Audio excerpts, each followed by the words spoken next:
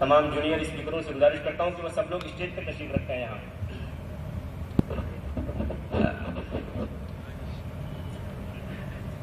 अल्हम्दुलिल्लाह, आप सब हजरात ने हमारे बच्चों का प्रोग्राम सुना और देखा कि किस खूबी से और किस अच्छे तरीके से उन लोगों ने